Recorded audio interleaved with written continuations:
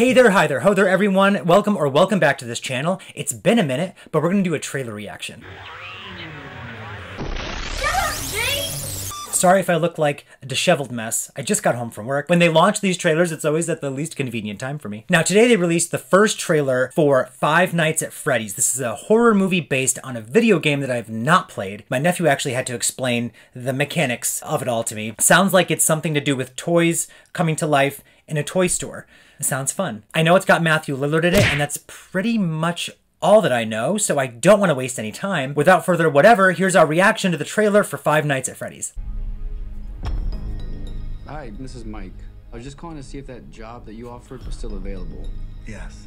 The security guard. Oh, is Matthew will Lillard playing a creepy person? And I didn't realize Peeta was in this. In the 80s with the kids. They shut it down years ago. The owner's just not ready to let it go yet. I, Matthew Lillard's voice, you will sleep. he's an icon. Oh, he's bringing his daughter to this scary place? Oh, it skipped for a second. Okay. Blumhouse, producer of Megan, yeah. to do is keep your Is eyes on the survive. Monitor. Welcome to Freddy Fazbear's, where fantasy and fun come to life. Okay.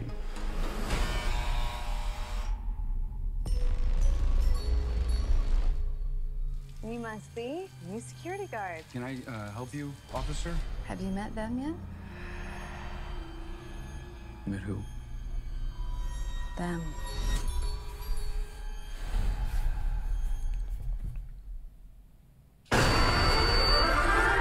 You gotta keep your eyes on the monitors. Oh my gosh, they're huge.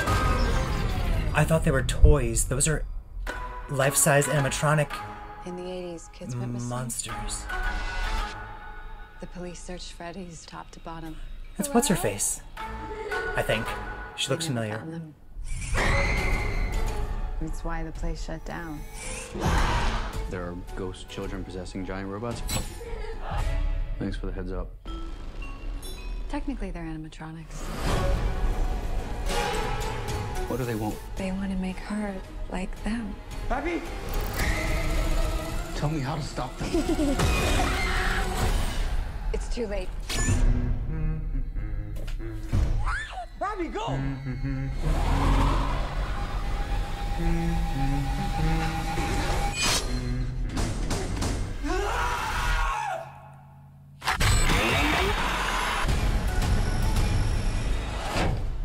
Where to? Why do I always get the weirdos?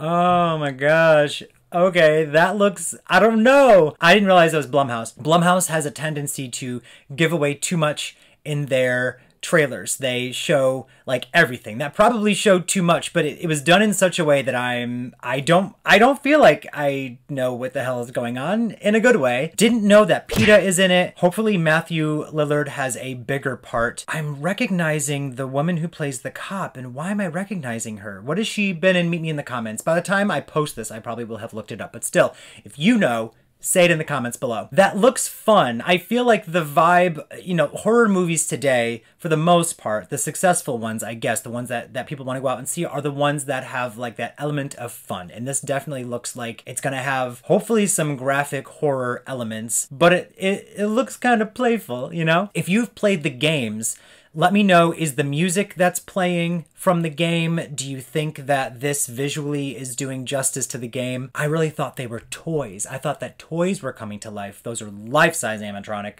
machines with torture devices in their faces. I don't know, but looks like a good time. Side note, just in case you watched my live uh, from last night, and if you didn't, I'll put the, the link up above actually, but this is the outcome of us organizing the movies. Thank you all. I was asking for advice on how to alphabetize and where stuff should go, and because of you all, I actually love how this looks. Now, we didn't talk about stacking the movies like this, but it just seemed like the simplest outcome. Now, I'm putting this at the end of my video instead of the beginning of my video, but it's time for my obligatory plea. If you are watching this video and you're liking this video and you're commenting on this video, and if you love scary movies as much as I do, then please subscribe to this channel and turn on notifications so you can be reminded of when I do these ridiculous things. In the description down below, I will also put a link to the preview of this weekend's movie reaction, which is the 2022 film Pearl. Thank you again, everyone, for checking out this video. I am Shut Up James. Goodbye.